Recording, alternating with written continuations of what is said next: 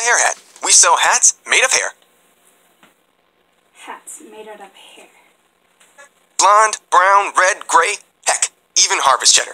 You name the hair color and the style of hat, and we make it for you on the spot. Are you pranking me?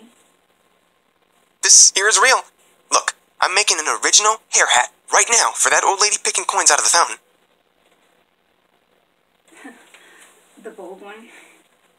Won't be calling her that in 16 hours when I'm done making her an original hair hat. Uh, th- that must take a lot of hair.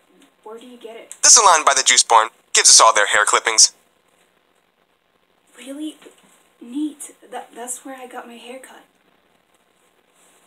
You look dope, but you'd look even dopier with a hair hat covering that new do. You think? Heck yeah!